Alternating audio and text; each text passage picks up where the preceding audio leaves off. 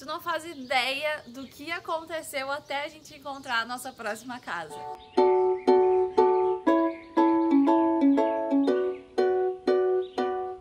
É uma história muito maluca. Quem tá nos acompanhando no Instagram viu que a gente ia sair dessa casa essa semana e a gente não tinha pra onde ir ainda.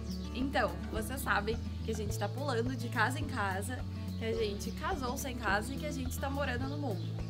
Porém, deu umas tretas aí, a gente gravou num outro vídeo que a gente vai deixar aqui, que os nossos planos não deram certo e a gente teve que mudar o nosso destino. Só que aí a gente tava muito em cima da hora e a gente começou a procurar casas e não encontrou, porque estamos numa alta temporada, né? Praia, né? Pra quem não conhece Santa Catarina, é temporada total. Janeirão, é o mais lotado, mais caro. Meu Deus, como fazia pra achar uma casa. Exatamente em janeiro, no pior mesmo. Até pra, pra dar um Tá cedinho. Até para dar uma dica legal para vocês, que é a forma que a gente procura as nossas casas para aluguel por temporada. Então, a gente fez as seguintes procuras. Airbnb, primeiro, a gente sempre começa procurando no Airbnb, que é a plataforma que a gente sente mais confiança e que realmente tem uh, as longas estadias, tem o tempo que a gente precisa, né? Depois a gente procurou no OLX, existem várias pessoas alugando diretamente ali, né? A terceira forma foi as imobiliárias mesmo. Mesmo a gente sabendo que é difícil o aluguel mensal, a gente procurou, porque a gente realmente queria essa casa. Procuramos na plataforma Zap, que é bem parecida com o ALX, mas foi a que a gente menos teve opções realmente. Procuramos no Booking. A gente sabe que o Booking é mais focado em hotel e pousadas, mas existem também as casas de temporada. Tinham opções bem legais, mas não com as disponibilidades que a gente precisava. Um outro lugar bem legal que a gente procura são nos grupos de Facebook. Então a gente tá aqui na região de Garopaba, de Ibiraquera, eu vou lá, procuro o grupo de Ibiraquera, moradores, aluguéis, passeios e jogo lá meu, o meu pedido do que da minha procura. E aí sempre tem as pessoas moradoras locais que têm disponibilidade acabam entrando em contato. E uma outra forma que a gente gosta muito de fazer é falar com as pessoas. Então, como a gente já está aqui há mais tempo, né? Talvez não dê para todo mundo isso, mas nós estamos aqui há mais tempo, então a gente começa a conhecer as pessoas daqui e aí, cara, falamos para nossa vizinha o que, que a gente estava precisando, o que a gente estava buscando. Falamos pro dono da nossa casa o que, que a gente estava buscando.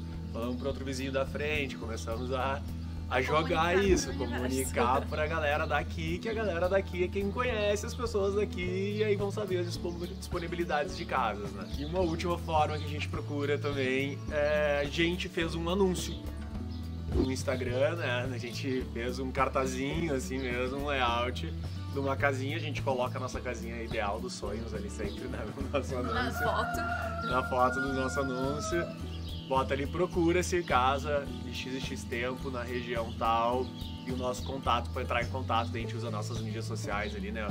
Os Instagrams pessoais e também o do projeto para divulgar a nossa pesquisa e ver se surge alguma coisa para nós. Então, esses foram todos os meios que a gente usou para procurar a nossa casa e a gente procurou. Quanto tempo que a gente estava procurando? Há muitos dias, né? Duas, três semanas, Duas, três acho. semanas. Com intensidade. Com intensidade.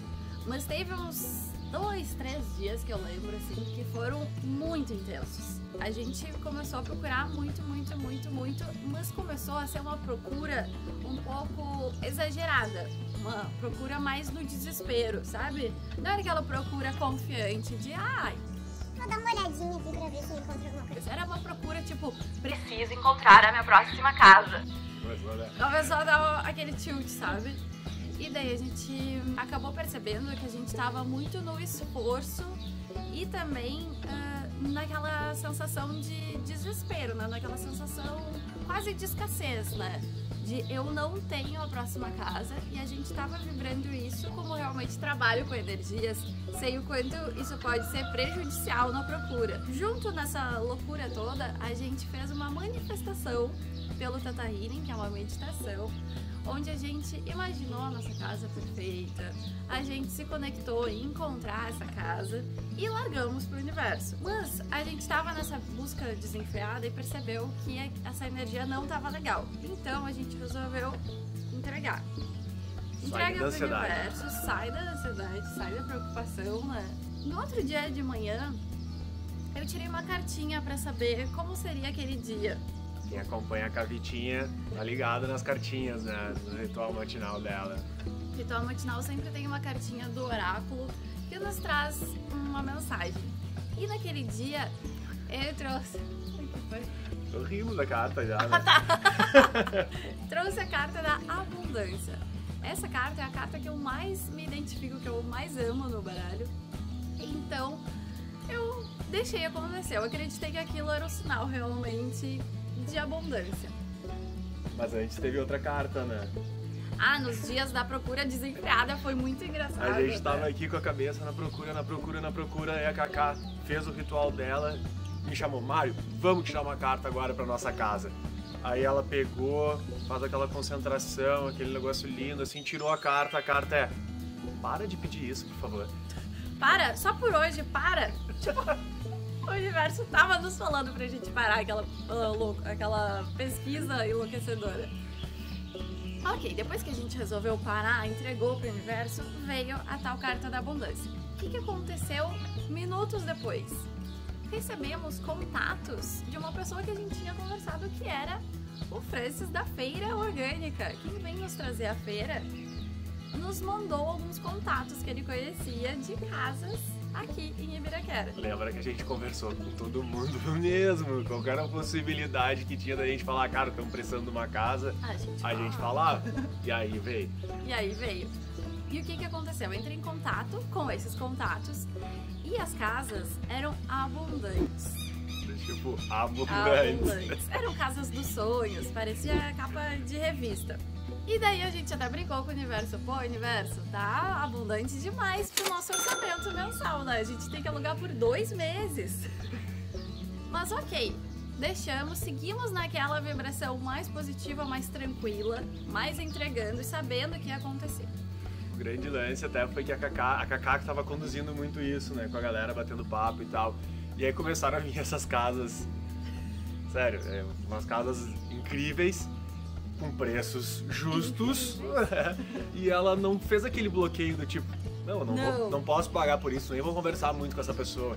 Não, foi lá, bateu papo, conversou, sabe? Tipo, lidou bem com aquilo, né? Foi abundante naquela oferta também. Presta atenção nos sinais, né? E se a cartinha da abundância veio naquele dia, tinha alguma ligação. Então, continuei sendo abundante, conversando com aquelas pessoas. E a gente tinha naquele mesmo dia uma visita para fazer numa casa que a gente tinha conseguido para fevereiro. Estávamos felizes que pelo menos fevereiro a gente tinha uma casa. Janeiro a gente se vira depois. Janeiro a gente se vira. Na hora de sair pra gente fazer a visita da casa, começou um temporal. Temos imagens do temporal Já tem imagens mesmo. Fechou o tempo. Fechou, Fechou o tempo. Não teve jeito isso aí. Ok, como a gente sentiu que as coisas estavam no fluxo e tudo acontece realmente como tem que acontecer, a gente sabia que aquilo era um sinal do universo. Então, ok, não vamos visitar a casa, ficamos em casa e o que, que aconteceu? Nesses contatos que eu tava conversando, surgiu uma proposta. A pessoa que tava com essa casa vaga ainda, uma casa linda, maravilhosa, nos fez uma proposta pra gente ficar dois meses, exatamente no tempo que a gente precisava, por um preço que a gente podia ah, pagar, que estava dentro do nosso orçamento. E a casa, assim, tudo a ver com a gente, num lugar que a gente amou, incrível. Então, no fim, a nossa pesquisa deu certo. E essa é toda a historinha aí de como aconteceu, né? Pra gente achar essa nossa outra casa, que na verdade a gente disse que a gente não achou a casa, a casa nos achou. A casa nos achou. É, porque foi uma coisa tão louca assim de todo mundo pensando, cara, o projeto vai estar o mês que vem, né? Daqui Todo mundo. Semana que vem tu sai dessa casa e aí depois o que tu vai fazer? Ah, não sei. Como assim não sabe? E a gente, ah, deixamos, vamos deixar acontecer e que aconteceu. Mais uma vez 2020 dizendo, relaxa no teu planejamento, meu caro.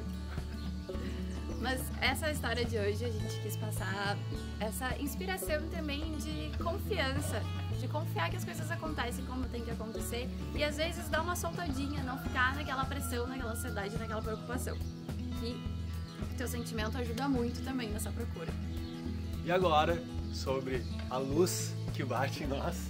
A gente tem que encerrar esse vídeo.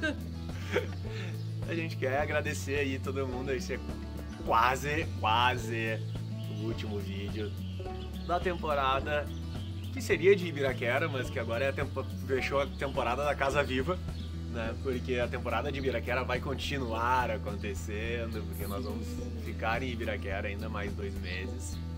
E então já sabe, né? Aquela coisa.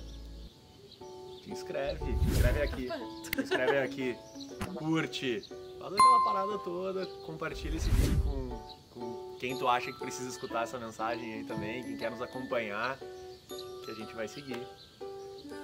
Até o próximo vídeo.